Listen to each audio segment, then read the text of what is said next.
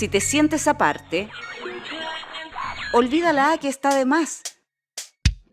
Porque tú eres parte. Tú eres la clave.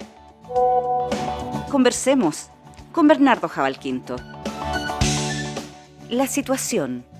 Soy Claudio Faúndez Quintuyanca, presidente del Sindicato Nacional Buceo de Chile. El buceo en Chile es una actividad de alto riesgo, pero para el Estado chileno somos fantasmas. Somos fantasmas para el Código del Trabajo, somos fantasmas para la ley de mutualidades, somos fantasmas invisibles para todo lo que es la formación académica. La propuesta.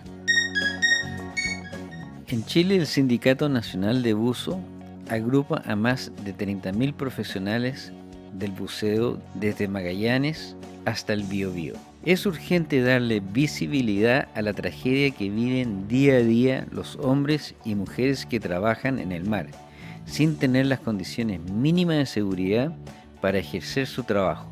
Los buzos arriesgan su vida todos los días, sin embargo la ley de mutualidades pese a reconocer este oficio como un trabajo de alto riesgo, no les permite tener centros hiperbáricos suficientes para atender a los buzos, ni menos que estén cercanos al lugar de trabajo, distante a horas de navegación, en el caso de los buzos que trabajan en las salmoneras. Por lo tanto, no tienen la cobertura de cámaras hiperbáricas para atender a todos los afiliados que pagan su servicio, lo que se traduce en un alto índice de muertes y accidentes.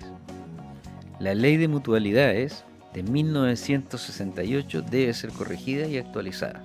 Soy Bernardo Jabalquinto, conversemos.